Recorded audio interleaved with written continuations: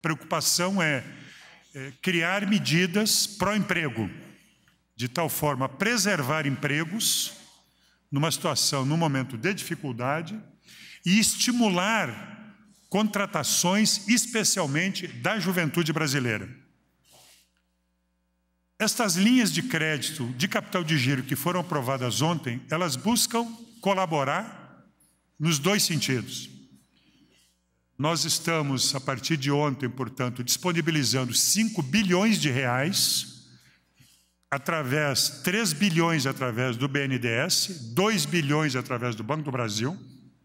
As empresas que contratarem esta linha de crédito, elas assumem um compromisso, e esta é a contrapartida, de preservação de empregos, do número de postos de trabalho, por até 12 meses. E a segunda contrapartida é um compromisso de até seis meses da contratação, a partir da contratação.